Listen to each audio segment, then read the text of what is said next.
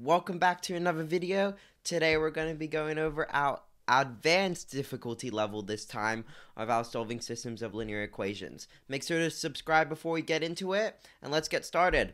So this first question, our basic premise is that we're going to solve our system using elimination most likely and then add our y and x coordinates together to find our answer.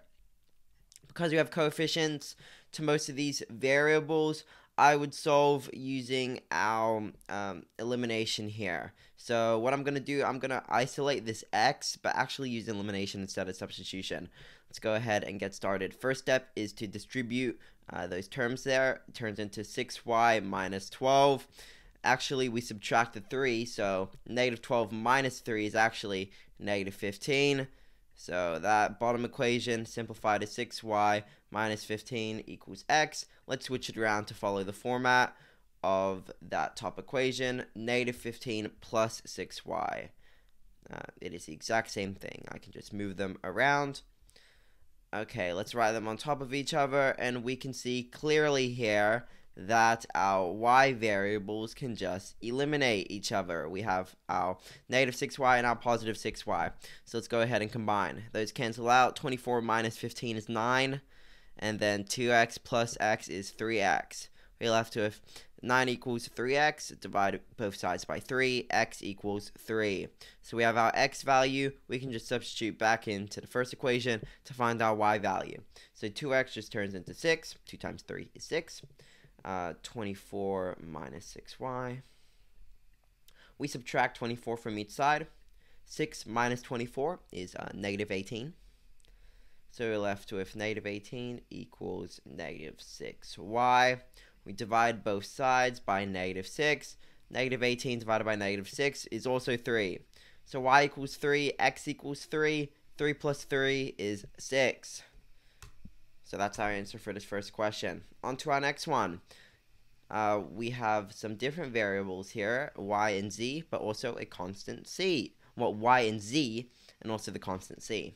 So what value of c does the systems of equations in the variables y and z have infinitely many solutions? So we discussed this in the prior video. Infinitely many solutions, we need coefficients, constants, to be the same. Everything should cancel out when we solve through to get 0 equals 0. So let's take a look at our coefficients here. So we have 4y. What I would do uh, here, first just combine like terms. Uh, that means distributing and moving over our y, so we only have one y variable to deal with. So let's first manipulate this top equation. I would add 13y to both sides. We're left with 2y and now I would distribute equals 6z plus 6.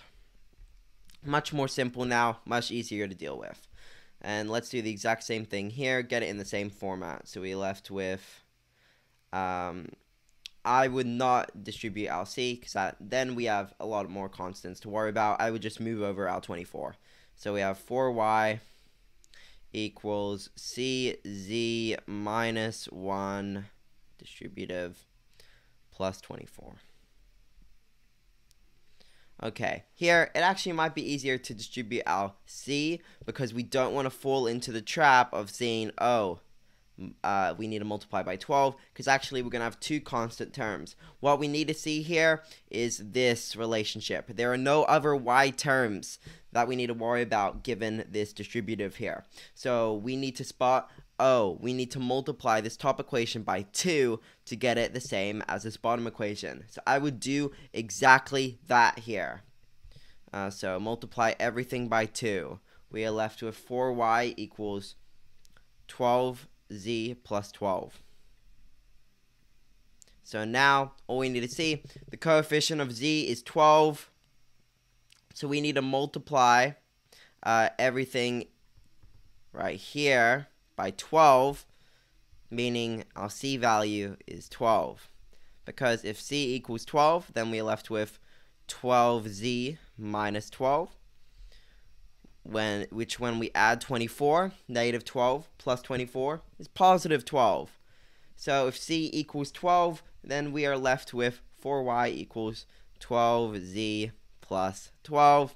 So you can see that is our infinite solution scenario Coefficients are the same. Constants are the same. So we could decode that c equals 12.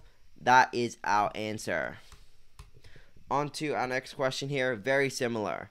So for what value of w will the systems of equations have exactly one solution when x, with x equaling 1? So uh, we need a spot here. One solution, our variables do not cancel out. So that's pretty much all we need to look here. Once again, these are in a little bit more difficult format, but we can just break it down into simpler forms. What I would do, multiply everything out, combine like terms. So get rid of our parentheses.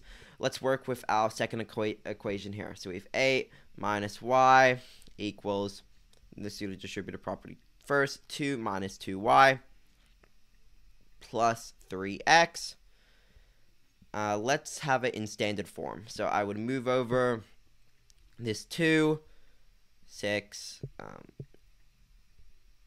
and I would add a y. Negative 2y plus y is negative y. So we are left with 6 equals negative y plus 3x. Pretty standard here. Yeah, equals negative y plus 3x. Perfect. And now let's uh, simplify that top equation. So we have wx plus 2y equals 3 plus 3y plus 1. First of all, on our right side, 3 plus 1 is 4, so we can just replace that with 4 plus 3y. Now we can go ahead and subtract our 2y to just reach y. Move the 4 over, move the wx over. So we have negative 4 equals negative wx plus y. All right, uh, now we need to take, we have simpler forms here. Let's stack them on top of each other. So um, 6 equals negative negative y. Well, other way around. Okay. Uh, 3x minus y. Alright, since we are dealing with one solution, we don't want our variables to cancel out. So we know w is for sure uh, not uh, negative 3, because then we would have... Actually, well, we don't know that yet, but we can see here, this key piece of information, x equals 1. So we know that x has to equal 1, meaning that we can just substitute in 1 into both equations if x has to equal 1, then we have 6 equals 3 minus y, and we just found our y value. Our y value is negative 3. So y equals negative 3. x equals 1, y equals negative 3. We can just substitute both of these values into our first equation to find what w needs to be equal to. So doing that, we have negative 4 equals negative w minus 3. We add 3 to each side. Negative 4 plus 3 is negative 1. And uh, negative 1 equals negative w. So w equals 1 as well. So what value of w? Well, the systems of equations have exactly one solution with x equaling 1. Well, 1 for w. So this question, it was a little bit harder. We had to do a little bit more manipulation. And instead of dealing with no solutions or uh, infinite many solutions, we were dealing with one solution here. Make sure to follow exactly my steps uh, for similar type questions. And uh, this is, once again, a similar type question. We're dealing with infinitely many solutions here without constant.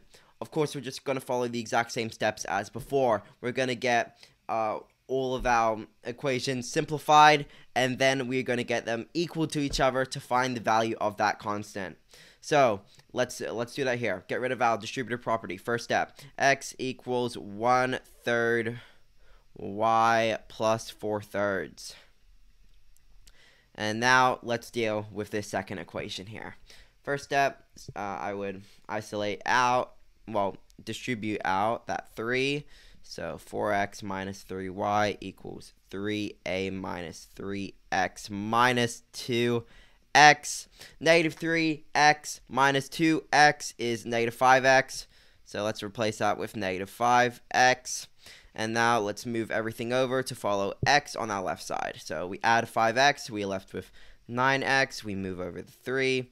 So 9x equals 3y plus 3a. Yes. So, as we noticed, our x and y's have to be the same, and so do our constant values. Let's take a look. To get our x and y's the same, I hope you, that you can notice, after doing all of this work, that our first equation, we need to multiply it by 9. Uh, 1x times 9 is 9x, 1 third times 9 is 3. So we're going to multiply this whole top equation, every value by 9. Let's write it below. So x times 9 is 9x, 1 third y times 9 is 3y.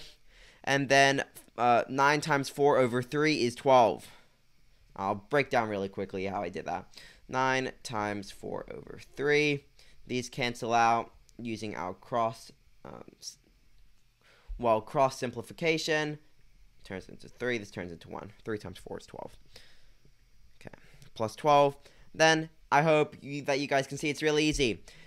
3a equals 12. A has to equal 4 uh, in order to 3 times 4, get it to 12, get everything the same value, and then we would um, solve through, get 0 equals 0, have our infinite solutions 100%. A equals 4. That is the answer for this one. These questions were a little bit more difficult, a little bit more solving that we had to do. I hope you guys understood. If you have any questions, make sure to leave it in, in the comments. I'll see you guys tomorrow for more videos. Make sure to subscribe, and goodbye.